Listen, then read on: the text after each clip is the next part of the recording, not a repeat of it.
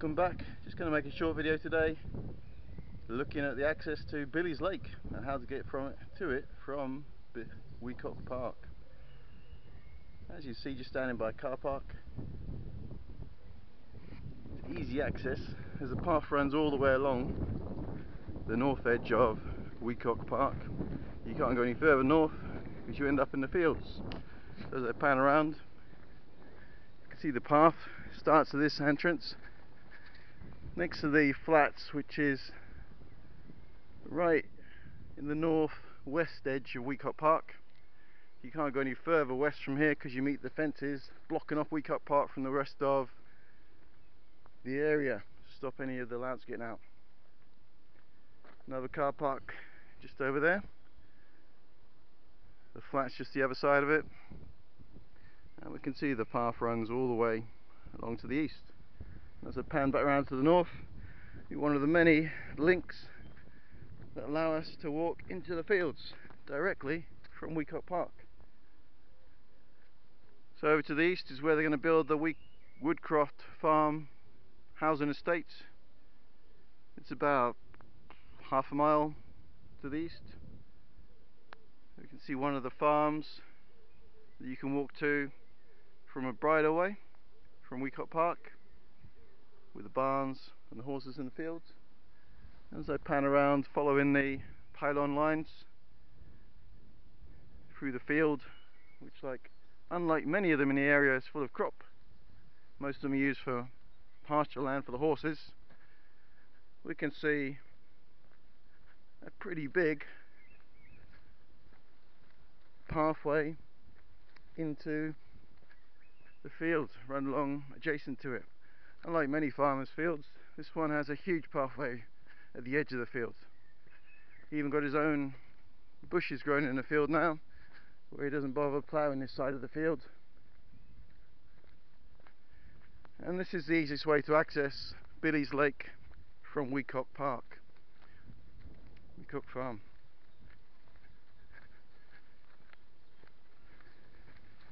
Now I'm just about to reach the boundary of Wecock Farm Estates.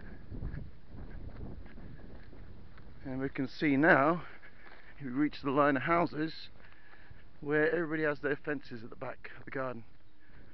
Some of the access gates. Allow them to access this area walk with their dogs. And the quality of the houses suddenly improves. Most of them detached or semi-detached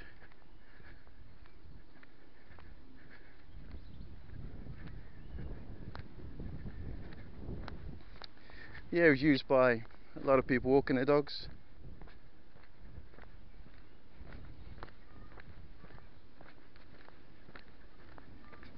During winter it gets a bit muddy, so you're best to bring your wellies. But as soon as the spring warmth hits, we're suddenly into a time where everything dries up.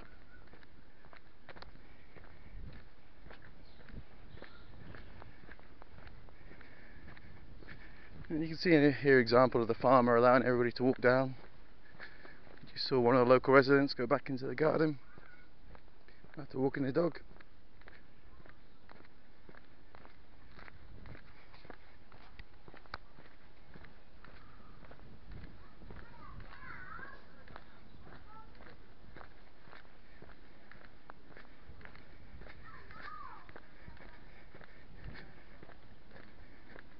The ground below looks pretty solid, but it's just mud. And as soon as the rains come down, it gets churned up a bit and can turn into quite a quagmire. Most of the gardens have bushes, trees on their fence line as well, create an extra boundary, giving them a little bit of privacy from anybody that might be walking past.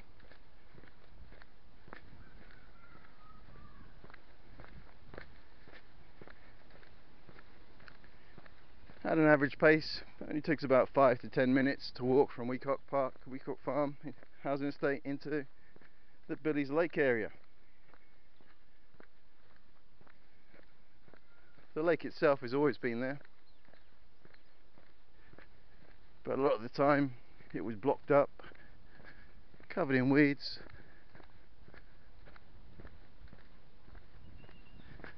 And there was nothing to see there. A few of the locals used to go down and hang out there at night time. Bit of privacy. Get bitten by the mosquitoes.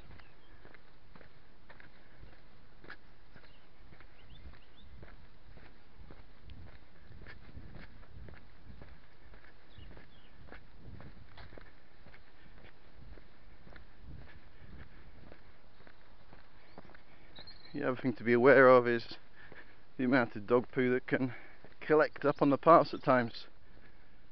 As it's in the farmland, nobody really cares where the dog poos on here. There's the occasional people pick it up, but most people just leave it wherever the dog does it. And often that's on the path.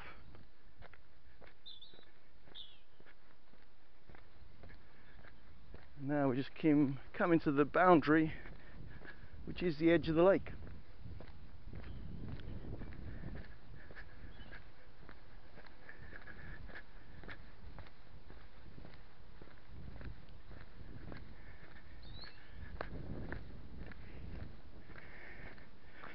It's one of the drains.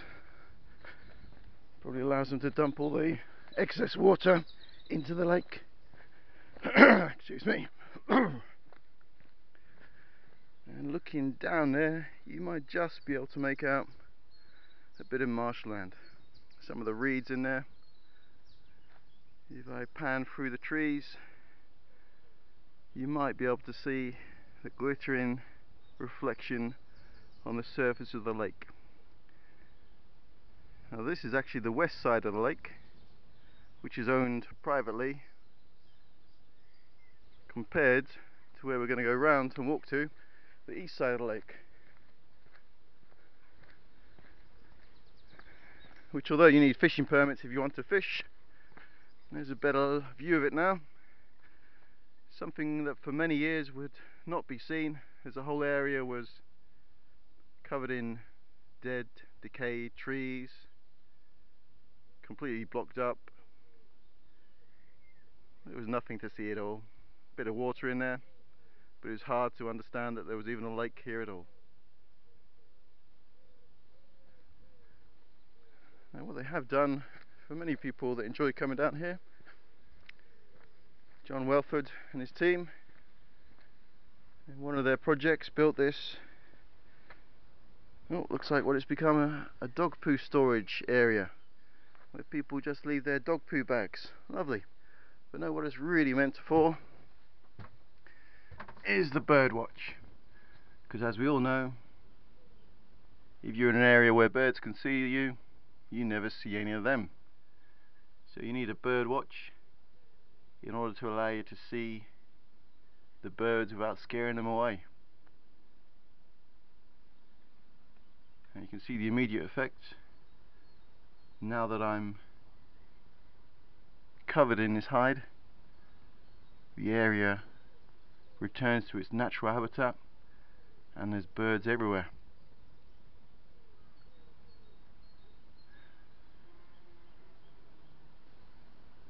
Already we can see looking down at the lake there's a bit of algae growing on it. It's caused because the lake is standing water. There's no fresh river running through here unless the rains build up enough that allows it to drain from the other end. It'll be standing and over time the algae just grows and grows and grows on it. Becomes so bad at times that they need to get down and clean it out. John and his team come down here regularly normally on a Wednesday and do little different projects. As you're going to see as we go around they've created paths, they've created stairs, they've put in piers, they've put in fishing posts, they cut down trees, they clear back the vegetation and of course they dredge and clean out the lake when it's needed. Swimming across the lake we can see a coot, you may just be able to make out the far end some swans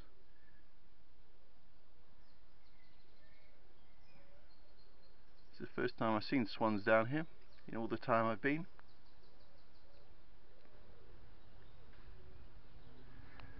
And as I mentioned earlier, the other side of the lake is owned privately, another fishing company, and they've surrounded it with a massive fence to stop anybody getting in there.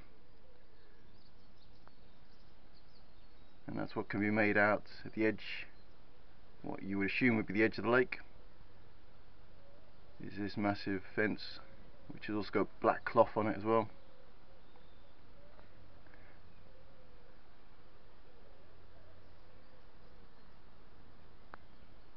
Okay, we'll continue around. Leave the dog poo bag shelter. We get to a part of the path where they put in a few flagstones, which makes it easier to walk along.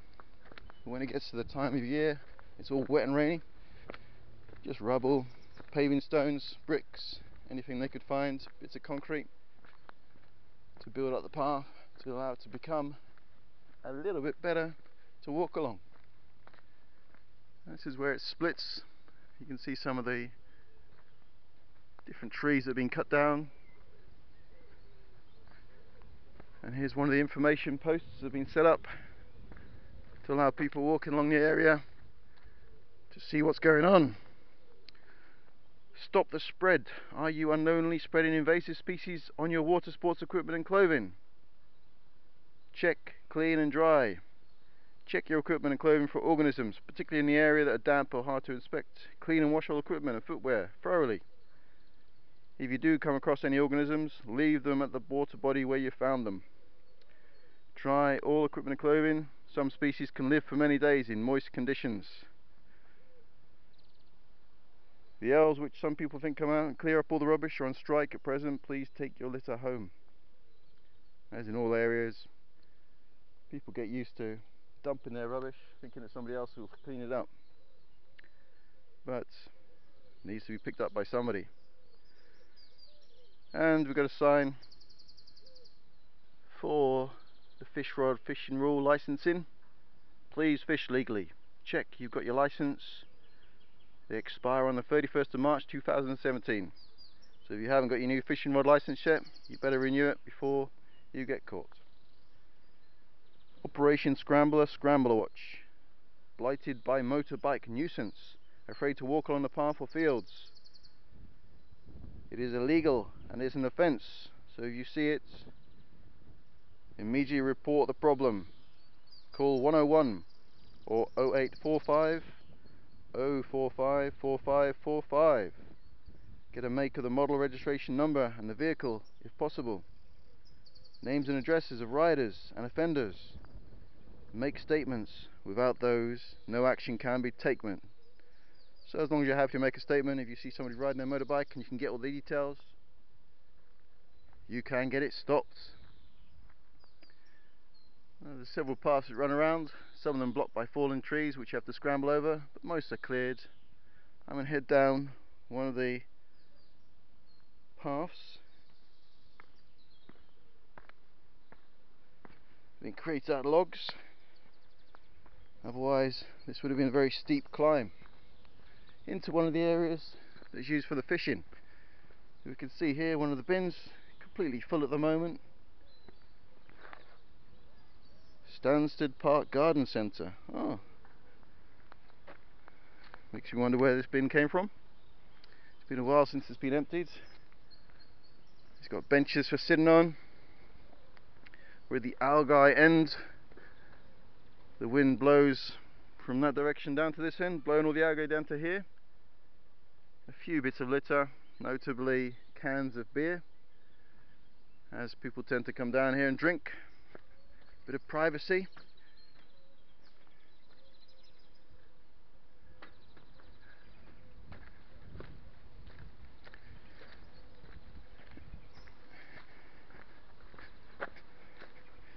Wear sturdy footwear if you come down this direction. Although it's been built up and there's nice paths now, it's still a lot of tree roots around, areas where you can trip over, fall in the water quite easily if you're not taking care. And as we can see, some of it's still very muddy and slippy. So do take care if you come down this way. We've got one of the other stairs carved out of the hillside, made from the wooden blocks.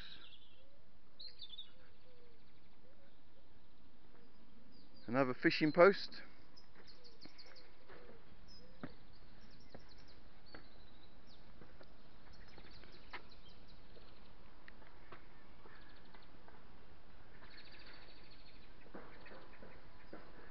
Reed bank forming.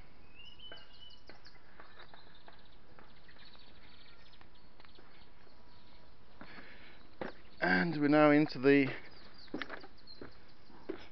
oh, some of the walkways come off there.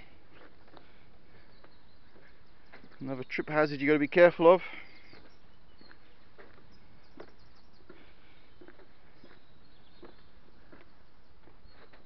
You can see some people have built the walkways out into the middle of the lake.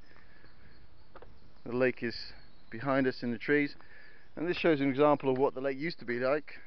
It was covered in fallen down trees, broken, mouldy, covered in moss. You could hardly see any of the water and all this had been cleared to create an area that looks more like this. It's only a few feet deep. There's some deeper spots in areas.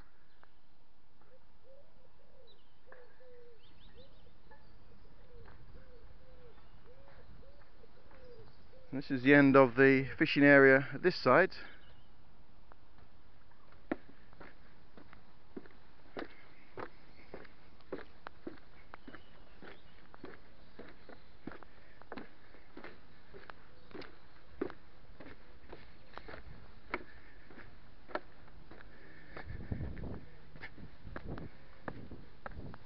It's used by a few people, but as you can see, Saturday, it's still early, it's only about 11 o'clock in the morning. You know the sun is shining, there's a few clouds in the sky, so we're not seeing many people here. There's bird houses being put into the area and dormice houses. Although you can scramble across the top of the banks, they prefer you not to. If you follow the paths around,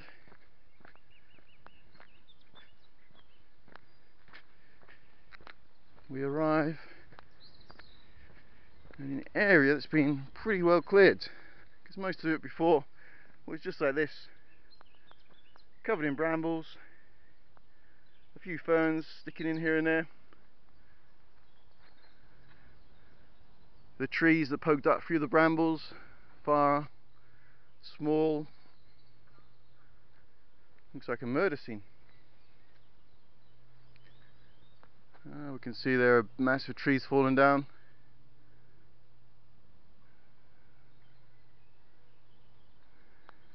So they put the tape around to stop people going in there, having some fun, climbing up and falling down. And this shows you one example of what's happened in the area. John and his team come in, clear it out,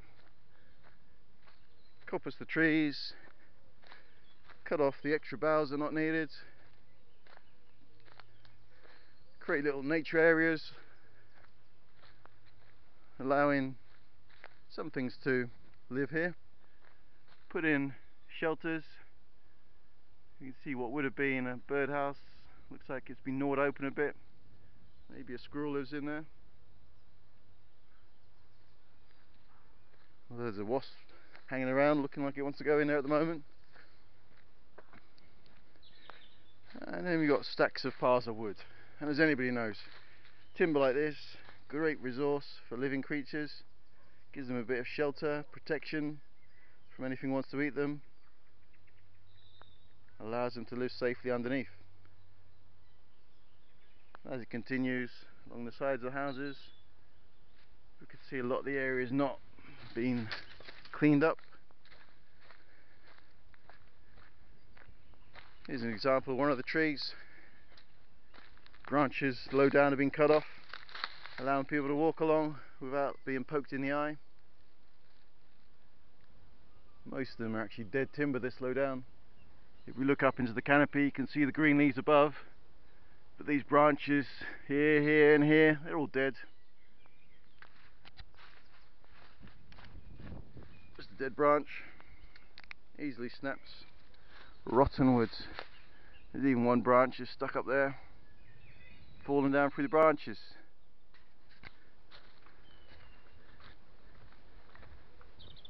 Okay, we're in the northern edge.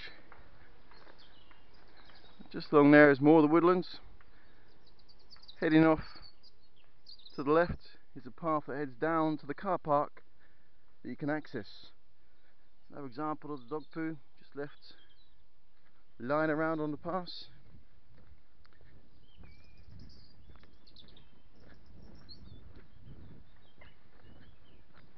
And we have here another access down into the fishing grounds.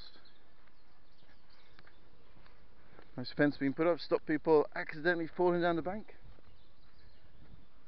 Another bench being created to allow people to sit up here and have a look over the lake.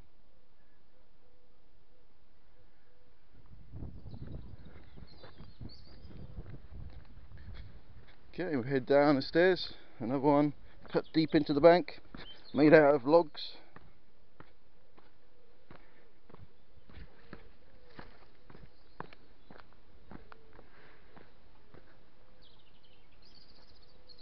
There's one of the trees that snapped over. Quite recent. The month being April now.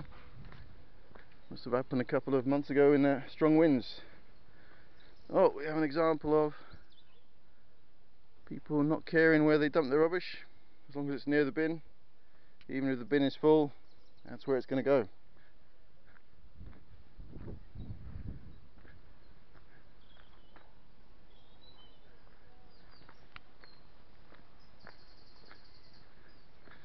Billy's Lakes rules for anglers help us protect, conserve and develop the area for the community. All anglers must have a current Environment Agency rod license. Please take all rubbish away with you or place it in the bins. No camping, overnight bivvies, fires or barbecues. And as the rules go on.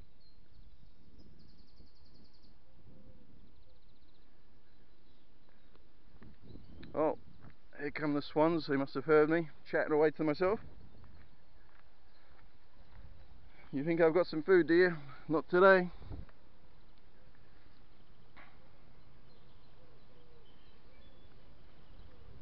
So we have a close-up of the swan. Hello swan, how are you today?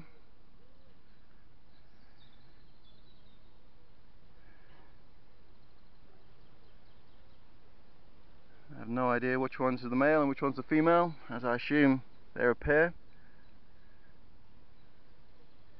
Your head's looking a bit dirty today.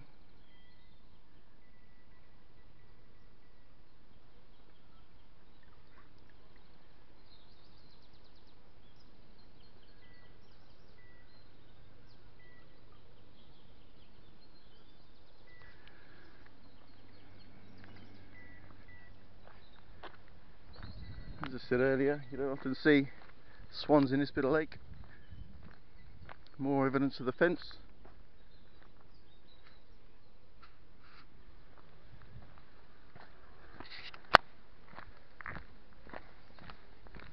Hello. Didn't think everybody was fishing here today.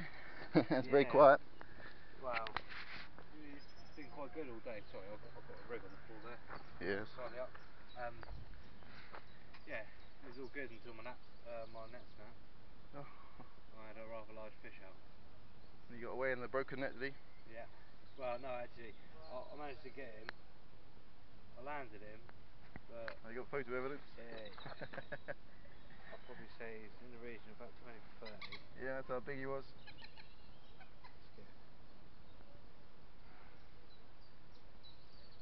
But I've just been plagued by these two, so I'm. I'm gonna go home. I think.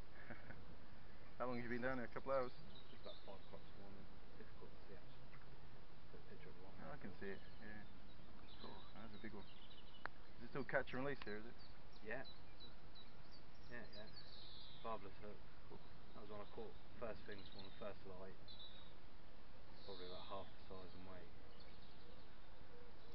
Not bad. Should make some YouTube videos, put them up. It's not used I by many people here, is it? I, I would do, but no. No, you're right, it's not, but there's another problem. yeah, they get caught up in that, won't they? yeah. Unfortunately, I've had quite a good day's fishing up until this point where these two just won't leave me alone now. so I think it's about time I just leave them to it and, and, and pack my gear up. Yeah, they want the food. Yeah. Can't argue, it's their environment. It's not mine. It's the first time I've seen swans down here. They came in early this morning actually. Um, just after first light, about half five. They both flew in and they've been, well, only what I can imagine has been building a nest over in the reeds in the back there. Yeah, I'm not using that massive thing in the middle then. I'd have thought they would, but obviously they prefer it where it's all natural. Yeah, a bit more privacy.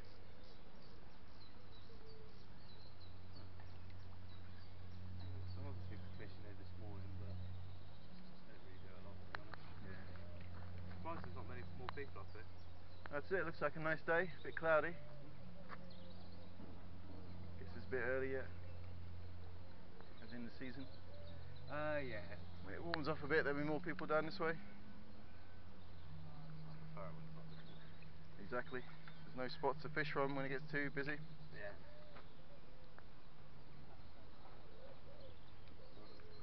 So I came up here a few years ago. Uh, caught some big pike.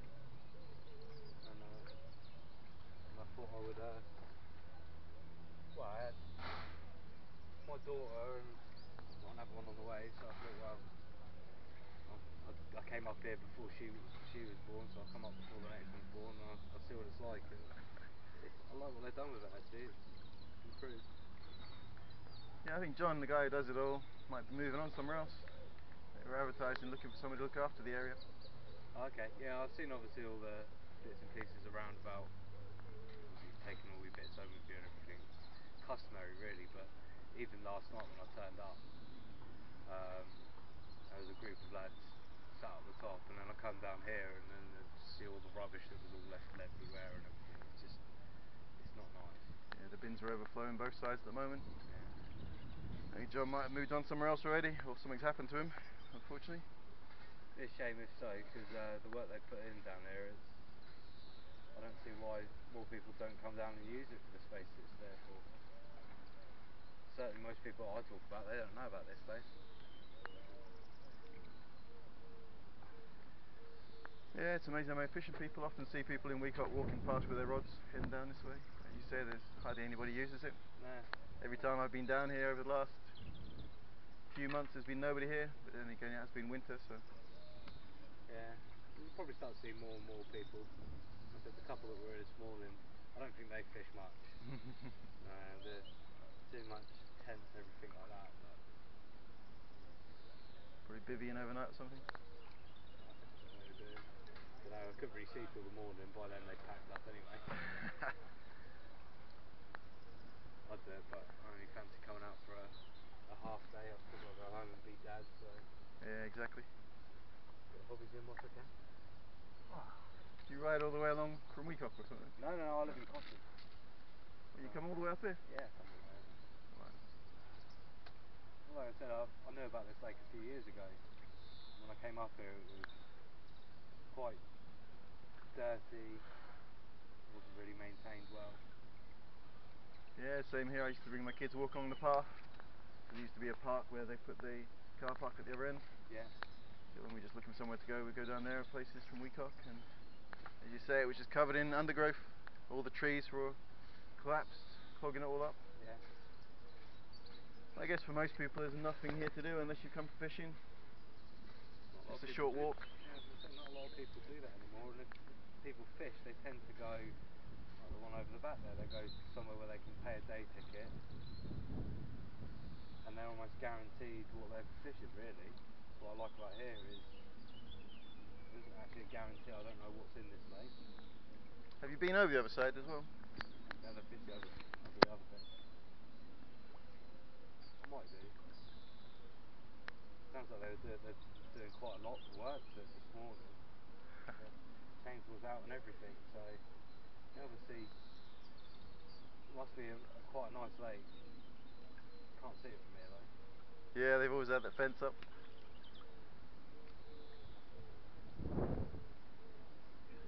a nice lake. I like it.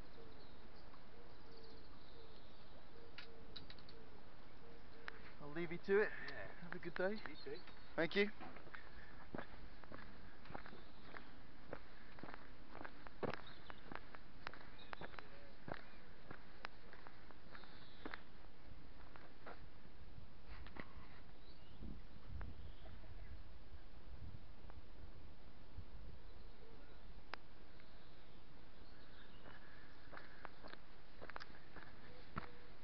You may have noticed that most of the paths leading down to Lake are stairs, except for this end, where they have disabled access into the fishing area. So a nice sloping path leads all the way down to the edge of the lake, up into another area that John and his team have cleared. Sometimes the local schools come down here and help out, build camps. There's a storage locker that's used for tools and equipment to keep the area clean and tidy. And as you can see, unlike most of the places where it's brambles, this area has been fairly well cleared out to allow easy access. We've got some pallets full of sticks and blocks allowing a home to be created. For little bugs to live in. All the lower branches of the trees have been cut out to stop people getting poked in the eye.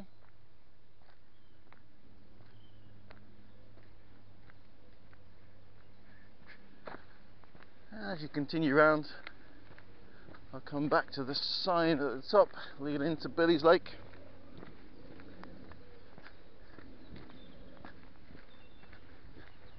We put a new bird table in there. Mason bee. These bees are known as masonry bees or mortar bees because they like to nest in crevices or holes in masonry. Oh, so it's a bee's nest as well as a bird table.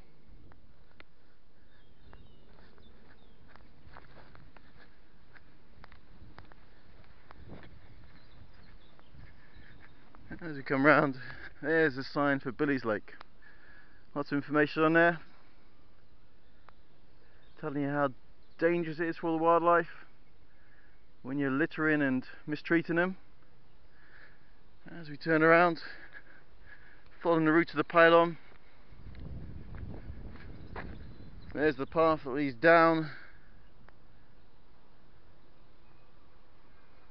to the fields that goes to the car park allows people with cars to come and park and get easy access into the field. They're currently looking for planning permission to put this path in through the field to make it better to stop it getting all clogged up and dirty and muddy during the winter months. Okay, thanks for watching the video. I'm going to end it there, walk back to Wecock Park If you like what you see, or you want to know more, put a comment down below and I'll answer as soon as I can. Thank you.